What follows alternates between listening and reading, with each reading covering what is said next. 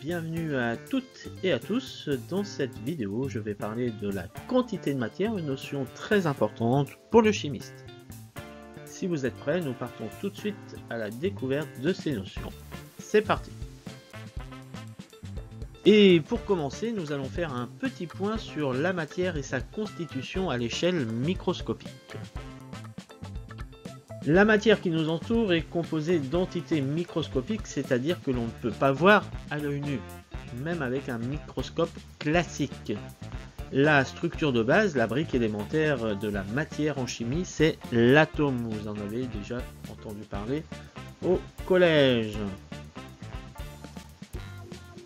Eh bien, grâce à des microscopes très très puissants, des microscopes à force atomique par exemple, on peut voir des atomes et ceci est un atome qui a été grossi 100 millions de fois.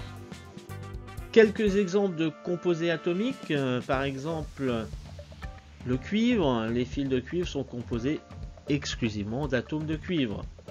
Un lingot d'or, c'est un lingot qui est composé d'atomes d'or. Cette barre de fer est également composée d'atomes de fer et enfin, dernier exemple, le carbone qui peut s'organiser de deux manières différentes, au moins deux, sous la forme de diamant. Dans le diamant pur, on n'a que des atomes de carbone, ou sous la forme de graphite, ça ressemble à du charbon. Là encore, on n'a que des atomes de carbone. Après avoir vu les entités chimiques, on connaît aussi d'autres entités ce sont les molécules. On va parler de structure moléculaire et on parle de composés de molécules. Qu'est-ce que c'est qu'une molécule? Petit rappel, une molécule est un assemblage d'atomes électriquement neutres.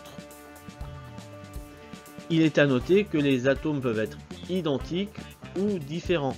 Et évidemment, il y a beaucoup plus de molécules composées d'atomes différents que de molécules composées d'atomes identiques. La formule chimique d'une molécule traduit les différents atomes présents et leur nombre. Ça, c'est ce que l'on a déjà vu au collège.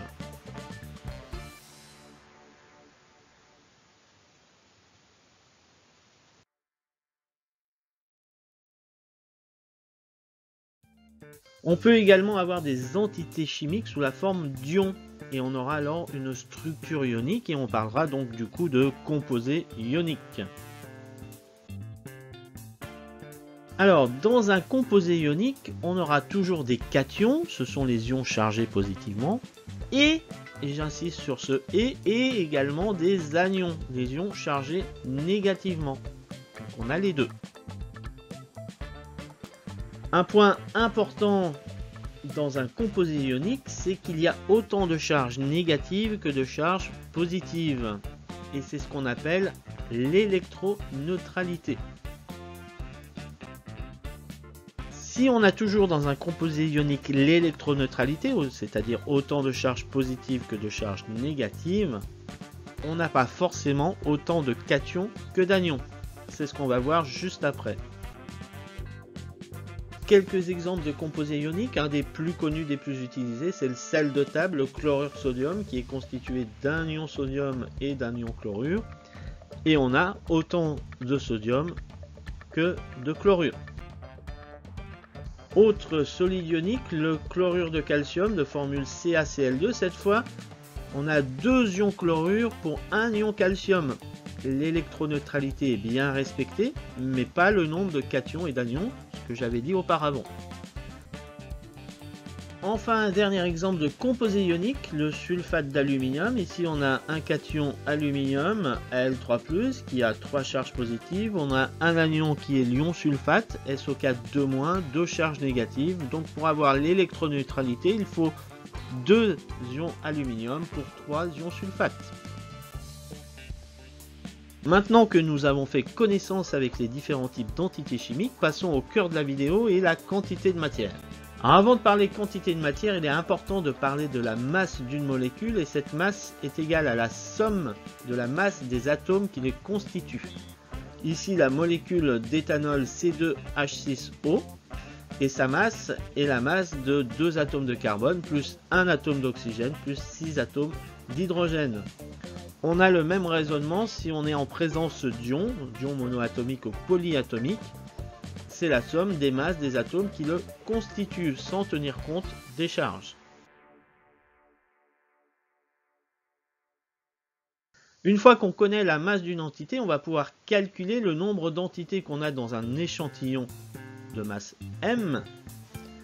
Et tout cela, c'est simplement de la proportionnalité on a la relation suivante, n, qui est le nombre d'entités, est égal à la masse de l'échantillon divisé par la masse d'une entité. On fait le même raisonnement que quand on a un paquet de bonbons et qu'on sait qu'un bonbon pèse 5 grammes et qu'on a 1 kg de bonbons. On a donc 200 bonbons. C'est le même raisonnement. Alors, la masse d'une molécule, c'est quand même très très faible. C'est de l'ordre de 10 puissance moins 22 grammes. Et du coup, quelques grammes vont rapidement représenter 10 puissance 22 à 10 puissance 23, voire 10 puissance 24 molécules. On est dans des nombres qui sont extrêmement grands, qui sont peu pratiques à manipuler, et c'est pas très parlant du tout.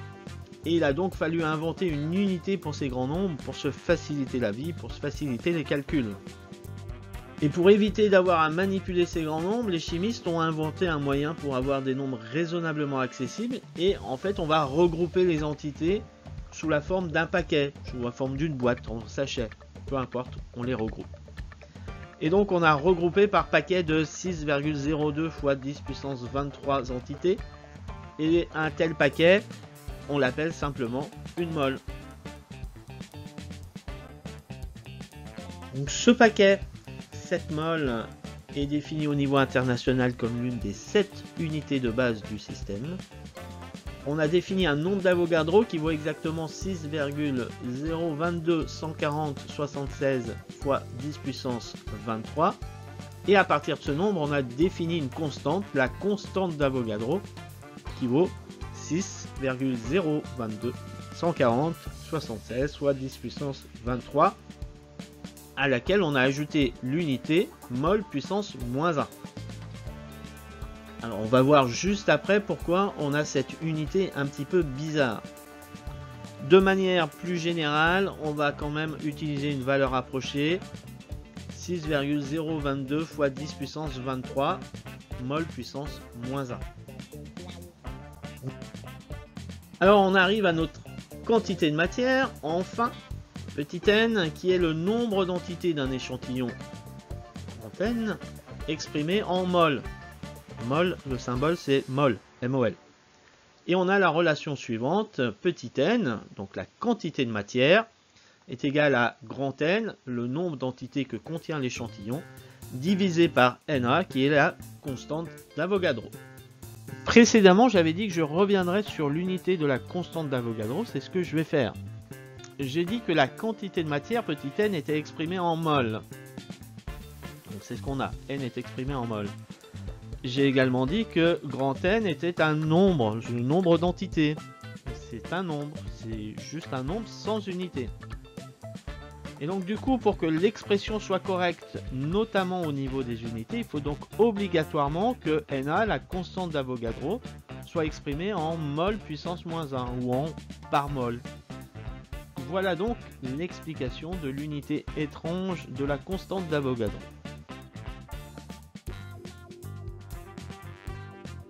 Voilà, merci à tous et à toutes. La vidéo est maintenant terminée. N'hésitez pas à mettre un pouce vers le haut, ça fait toujours plaisir. Partagez cette vidéo autour de vous, je suis certain que vous connaissez plein plein de personnes que ça intéressera. Une question, une remarque, un point à expliquer, eh bien n'hésitez pas à commenter et poser vos questions dans les commentaires. Et puis abonnez-vous pour ne rien rater des prochaines vidéos. Et n'oubliez pas, la physique, c'est facile.